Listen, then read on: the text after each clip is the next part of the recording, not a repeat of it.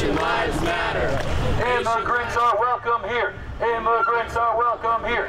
Immigrants are welcome Here. Immigrants are welcome here. Immigrants are welcome here. Immigrants are welcome here. Immigrants are welcome here. Immigrants are welcome here. Immigrants are welcome here. Immigrants are welcome here. Immigrants are welcome here. Immigrants are welcome here. All right, everybody. Here. Thank you so much for coming out. First off, we have a speaker here. This is Julia. She's going to give a speech to start off the evening. So please give it up for her. Woo!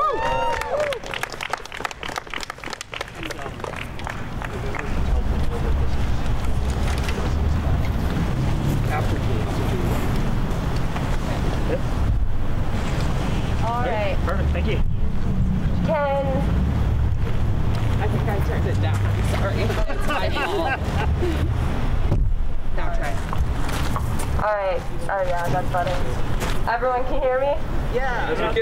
Nice. Okay. So I am going to start with a little bit of historical context because, as usual, history leads us to the current day.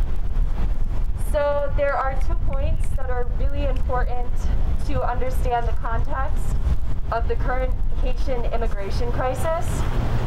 The first is that the United States has a long history of meddling in Haiti. That's right. And the second is that U.S. meddling has directly caused much of the national instability and gang violence faced by Haitian people today. Exactly. While Haiti has done much to help the United States over the years, the United States has worked to undermine Haiti since it was officially recognized as a nation in 1804.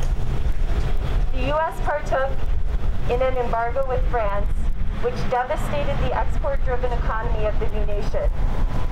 Hold on. Is it alright if I remove my mask? Yeah. Okay. Glasses keep fogging. Fast forward to 1915. The U.S. occupied Haiti from 1915 to 1934 under the guise of restoring democracy following the assassination of Haiti's president. In reality, the U.S. wanted to utilize Haiti as a strategic location, preventing the perceived threat of Germany doing the same thing and exploit Haiti's agricultural lands, forests, resources, and the Haitian workforce. Led to land theft from over 40,000 Haitians as the U.S. aggregated land for agribusiness ventures, caused the largest deforestation event in Haitian history, and the U.S. created and trained the modern Haitian police and military force, who were then used by the United States and then the Duvalier dictators to murder thousands. In 1991, following the fall of Jean-Claude Duvalier in 1986, the first truly democratically elected president of Haiti, Aristide, was ousted from power by Haitian elites, the corrupt military and political officials that were in power under the Duvaliers, and all of this was backed by the US CIA. This threw the country into turmoil in a time when Haiti finally had a president who was there for the people. Haitian immigration to the U.S. began in earnest in 1965, following the Hart-Celler Immigration Act, which abolished racist national origin quotas, which had been part of U.S. immigration policy since the 1920s. Following the violence and instability in Haiti after Aristide was ousted, immigration to the U.S. spiked, which is what caused the Clinton, Clinton administration to reinstate Aristide to the presidency, albeit with neoliberal clauses that prohibited the structural reforms Aristide wanted to implement and furthered U.S. economic gains in Haiti. Haitian migration again spiked in 2010 following the horrific earthquake that killed hundreds of thousands of Haitian citizens. Many refugees went to Brazil and then Chile, but conditions in both countries worsened for Haitian immigrants over time, causing tens of thousands to begin the journey to the US Mexico border. Haitian people have continued to seek asylum in the US and other countries since 2010 as Haiti has faced more ecological and political crises, including the appointment of the recently assassinated dictator Jovenel Moise, put in power by the Obama administration. just tell me how someone with no political experience wins an election with 500,000 votes in a country of over 12 million people. It, he doesn't, he gets put in power. Exactly. That's right. Um, many Haitian asylum seekers have been stuck at the border for years, awaiting a decision, stuck in dangerous border towns in Mexico that are flooded with guns from the United States that are smuggled into Mexico and through the Mexican gangs. Invoked Title 42 during COVID, prohibiting asylum seekers from even entering the country.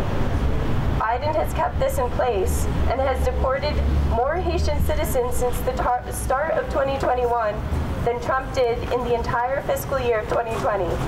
There have been over 37 deportation flights under Biden, not including flights that contained over 2,000 people from the Del Rio camp. So that is a little bit of context to kind of kick us off. And I'm going to hand over the mic now. All right, give it up for Julia. Thank you so much.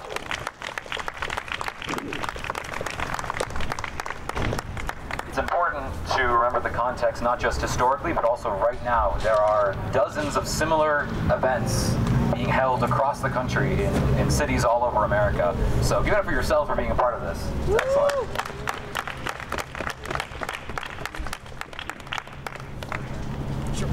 Another chant. Uh, Vermont will fight for immigrant rights. Vermont will fight for immigrant rights. Vermont will fight for immigrant rights. Vermont will fight for immigrant rights. Vermont will fight for immigrant rights.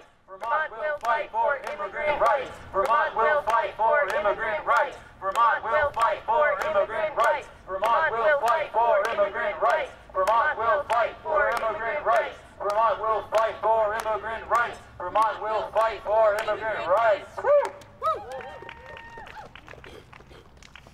All right, next up on our roster, we have Priska here. So please give it up for her.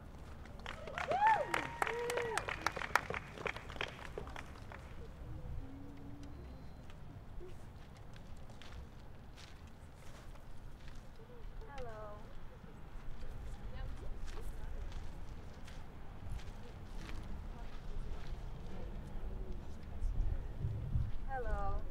Hello. Hello. Hello. Okay. My name is Priska and I am originally from Haiti and I wrote this speech here to share with you guys. I am tired. I am sick and tired of the United States screwing for Haiti in every single way That's that they right. can. That's and I refuse to accept it. I can't even stand up and speak the truth publicly in Haiti because speaking the truth will likely put a target on my head and I might end up with a bullet in my head the next day. Bullets from guns that are provided to Haiti by the United States. That's right. Haiti does not produce guns or bullets for that matter. Not even our bordering country, the Dominican Republic, produces these types of automatic weapons used by gangs in Haiti. The access to these illegal guns have increased extreme gang violence, kidnapping, insecurity in Haiti, causing everybody's lives to be at risk every day. About 15 people are kidnapped or killed by gangs every day if they are able to be, if uh, if the president of Haiti is able to be assassinated in the middle of the night in Haiti, it is not considered safe for anybody. To be completely honest, if my country was stable, I wouldn't be living here at the moment because I love my country and I am very emotionally attached to my country. I'm here because in Haiti, everybody in Haiti has a target on their heads. And my parents are worried that I might be a victim. This is another reason why the Biden administration needs to keep their promises to stop deportation and let people in and allow them to seek asylum. Most of these people left Haiti several years ago to, because of previous trauma, the fact that the country hasn't fully recovered from the magnitude 7 earthquake in 2010, and they have been and they have, and they don't even have anything to go back to at home, especially after the 7.2 magnitude earthquake a month ago on August 14, 2021. These people are at the border and they can't speak for themselves because they took their voices away and they are being treated terribly. It is extremely cruel and inhumane. We need to be their voices on the outside because they can't speak for themselves on the inside. That's right.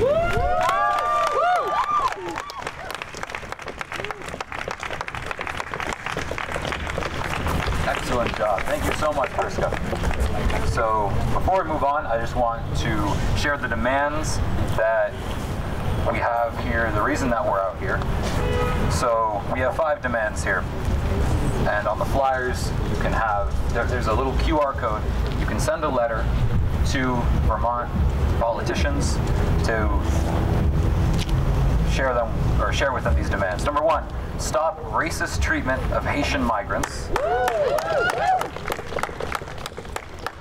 Number two, stop all detentions on the border and around the country. Number three, end the militarization of the border. Number four, thank you, Mr. Helicopter. Defund and abolish the Border Patrol, ICE, and the police, and dismantle DHS. Wally Shine. Bob Strike, that's right. And then number five, close Williston's ICE, da- ICE data facility that upholds the biased surveillance state of immigration. Okay, next up, we have Rosie from Migrant Justice, and we have Madeline who will be interpreting.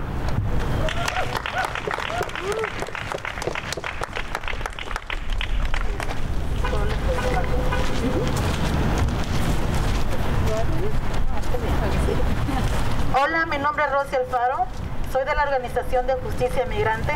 Justicia es una organización que está creada y, liderada por la comunidad migrantes, que lucha por los derechos humanos. Estamos aquí en solidaridad con la comunidad, con la comunidad haitiana, porque nos identificamos con ellos, por el hecho de ser migrantes y tener que salir de nuestros países y llegar a un país donde no somos bienvenidos y a veces tener que sufrir racismo y vivir todo el tiempo con el miedo de ser deportados. Y eso no es justo. Nosotros merecemos una vida diferente. También la, comuni- la comunidad haitiana, porque también merecen respeto, dignidad y la oportunidad de tener una vida mejor. Eso.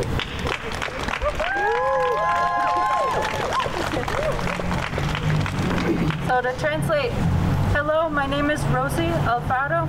I'm part of the organization Migrant Justice. Migrant Justice is an organization that is create that was created and is led by the migrant community that fights for human rights. We are here in solidarity with the Haitian community because we identify with them. Uh, for the fact that we are also migrants um, and that we have had to, to leave our own our home country and come to a country where we are not welcome and sometimes we face racism here and we have to live all the time with the fear of being deported. We know that this isn't right. This isn't just. We deserve a different life. And also the haitian community deserves respect and dignity and the opportunity to have a better life.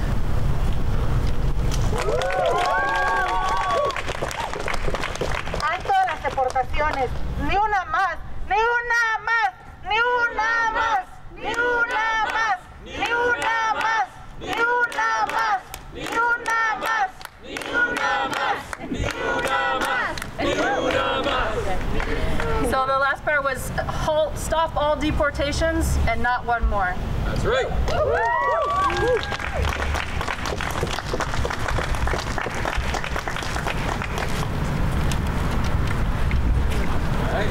That was a very good speech as well. Thank you for showing up. Uh, next, we have a speech by one of our wonderful organizers, Ashley from CVIR.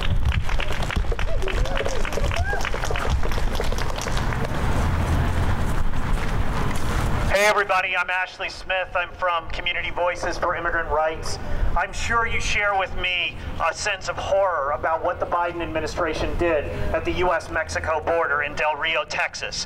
He committed a crime against humanity.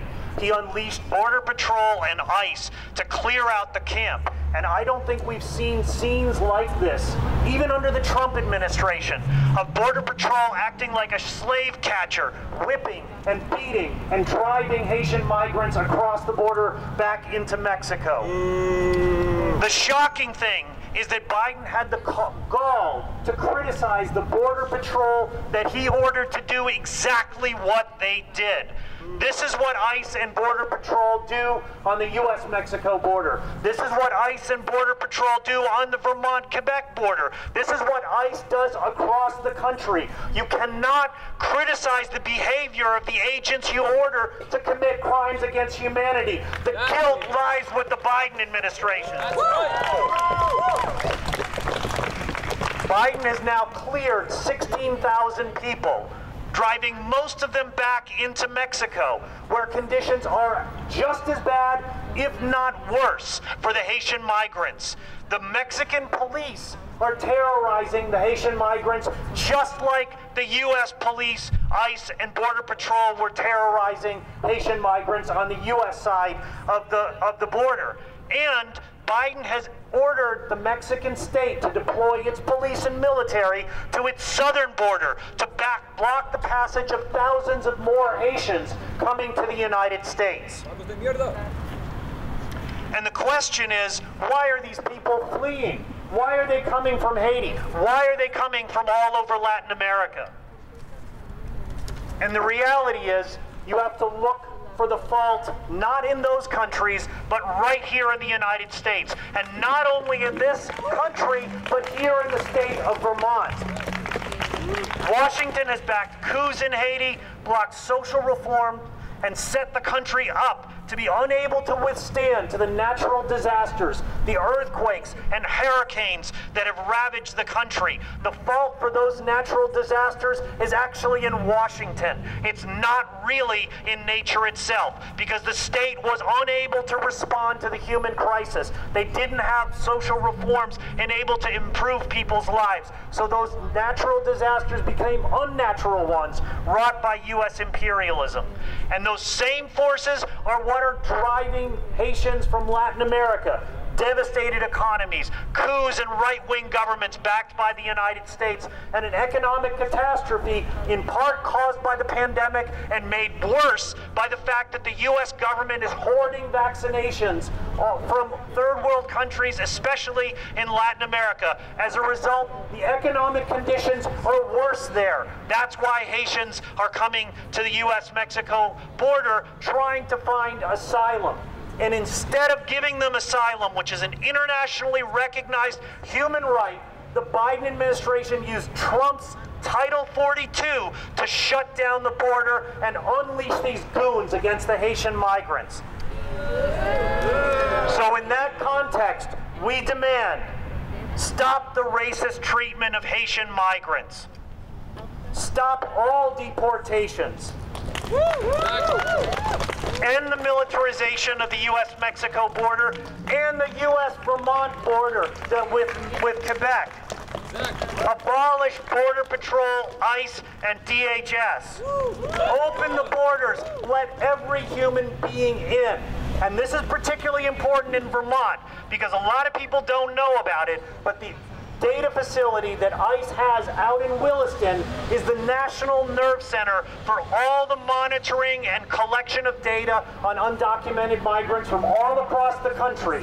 And the person who brought it here is up in that office, Patrick Leahy. So contrary to the illusion that we have a wonderful liberal delegation, Patrick Leahy is responsible for some of those atrocities that are happening. That's why everybody should join us in demanding that Leahy, Sanders, and Welch and all the politicians in the state support the demands of this protest.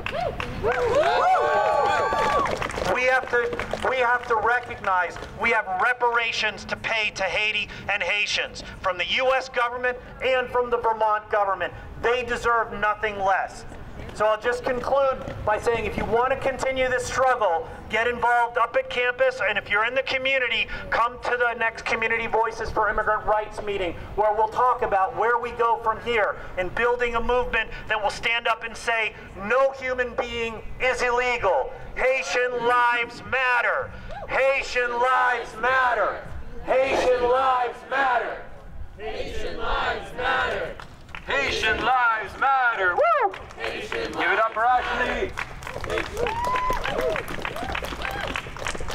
Right before we move on, we have another chant. What do we want? Migrant justice. When do we want it? Now. What do we want? Migrant justice. When do we want it? Now. What do we want? Migrant justice. When do we want it? Now. What do we want? Migrant justice. When do we want it? Now. What do we want? Migrant justice. When do we want it? Now. What do we want? Migrant justice. When do we want it? Now. What do we want? Migrant justice. When do we want it? Now. What do we want? Migrant justice. When do we want it? Now.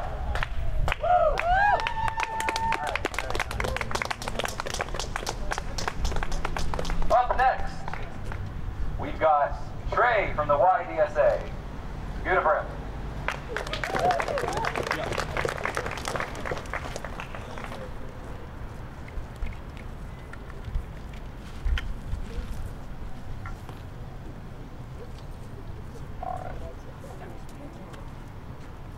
Democratic Socialists of America condemns, uh, in the strongest possible terms, the inhumane treatment of the asylum seekers currently stuck under the bridge in Del Rio, Texas.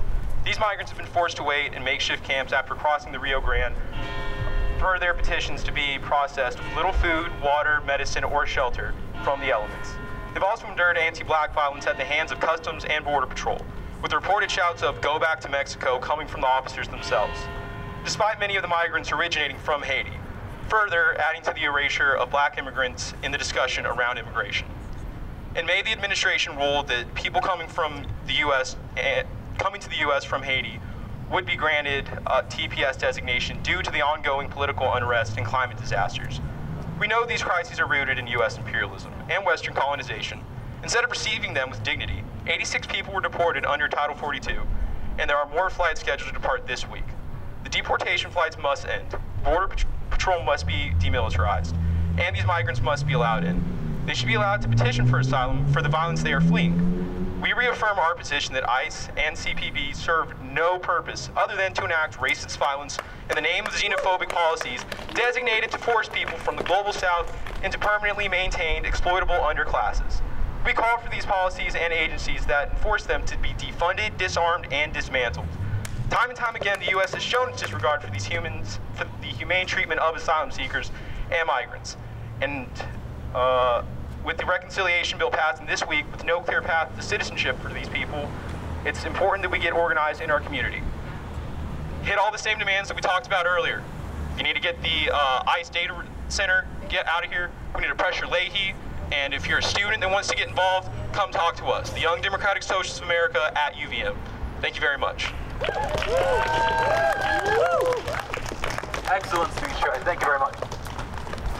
All right. Uh, so I am Miguel. I'm from the RSU, and I just want to make one point here uh, crystal clear. I'm Chilean. I'm from Latin America. I have a deep connection to the global South, and I am very aware of the way that the United States and other colonialist states exploit the global South. The main purpose of military intervention in Latin America, CIA intervention in Latin America, is to exploit natural resources and cheap labor. That's why we're there. That's why we were there for Operation Condor. That's why we're trying to send all these migrants back now. It's for exploitation, for the shareholders. In Chile, we say que muevan las industrias, that the industries may move. Leahy is a cog in a machine. Machine continues to exploit Latin America, Africa, the Middle East, all the global south for its nefarious purposes. So I wanted to make that absolutely clear that we're here fighting a machine, not specific policies, not one action, one horrible atrocity by certain ICE agents, but the whole entire system. It needs to come down. Thank you.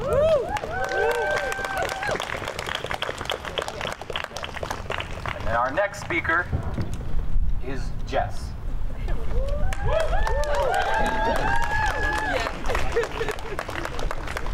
Hi all. Hi all. Can you hear me okay with my mask on? Okay. Yep. Um, I'm Jess, and um, I'm speaking today as somebody who has the honor and opportunity to organize with Community Voices for Immigrant Rights from time to time. Oh, is it off? Is it not working? Yeah, just use this one. Let's use it. Oh wait, there we go. Okay, hopefully I'll keep it close and it'll stay. Um, I organize from time to time with Community Voices for Immigrant Rights, and I really respect this consistent presence here in the community in Burlington and beyond across the state, continuing to raise these issues and work in coalition with a lot of different groups. And um, back in March, we had a honk protest, and when when what was happening on the border started to unfold last week, I didn't have the emotional capacity or the mental capacity to think about action. And that's why these consistent groups in the community are so important. That there are people who come together who talk regularly about what's happening for immigrants in our communities and that they're ready to take action. And so I get to just speak here today for a little bit about what I think about what's happening on the border and why we all need to be more engaged in this fight. Um, I think a lot of the conversation in the past two weeks has focused on the conditions in Haiti, conditions that have been created and perpetuated by the US government, mm-hmm. conditions in Chile and Brazil that have also been perpetuated by the US government. That's right. And I can definitely add plenty of imagery to that conversation. I lived in Haiti at the height of the migration to South America, and I can tell you that today in Haiti, the situation is much more dire. Economically, human rights violations, rampant gang violence and kidnappings, and the earthquake in the southern peninsula, where aid is being blocked by gangs to get to people who are in need. So, yes, the situation in Haiti is dire. But we need to change our rhetoric around immigration from just focusing on the situation that we are deporting people to and not actually asking ourselves why we are not granting asylum to folks, That's why right. our systems aren't working, why the Biden and Harris administration haven't rebuilt U.S. immigration. And, and I hope everyone here is clear that immigration in the U.S. has always been racist. That's, That's right. right. Is why we cannot have our police collaborating with ICE because they use racial profiling right. to target our community members and our neighbors. So what's happening on the border is really an exposure of what has always been true about the US immigration system. And the situation that they're deporting people back into in Haiti is deplorable. But what we have to focus on as US residents and citizens is actually holding our elected officials accountable.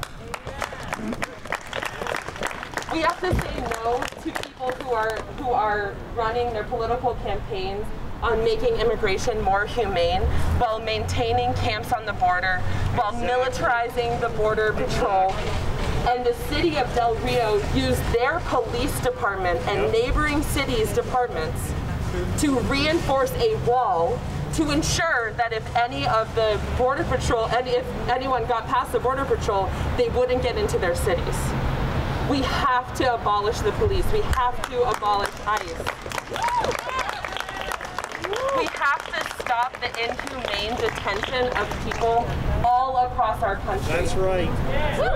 Because we know that in all of these institutions, they are wrong from the start.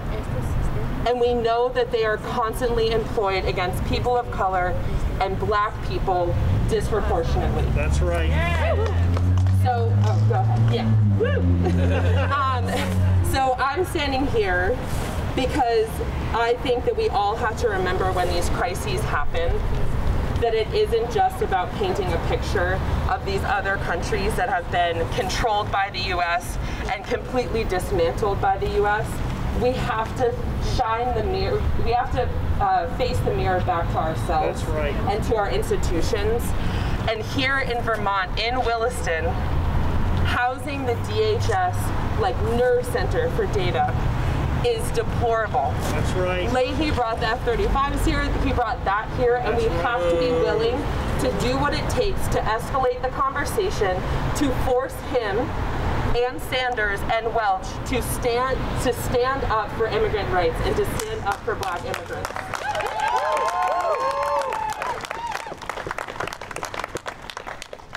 The, the last thing that I've been thinking a lot about um, that as I hear all the reports is how often we focus on women and children. We focus on the fact that people aren't criminals. Well, our society has decided to criminalize being black and brown That's right. since its foundation. Mm-hmm. So if we're going to base our immigration and our progressive values off of people not being criminals, then we aren't recognizing the system that is disproportionately right. going to seek out and find black and brown migrants across this country to deport. That's right. We have to change our focus, not because women and children don't matter, but because every migrant matters. Right. Every migrant matters. It's not because we're going to pay taxes here. It's not because they have small children that are vulnerable. It's because they are humans. That's right. And we have to remember their humanity in anything that we have to say.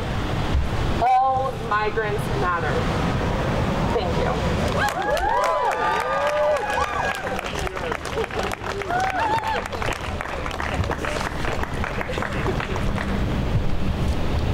right, Jess. I don't know what's up.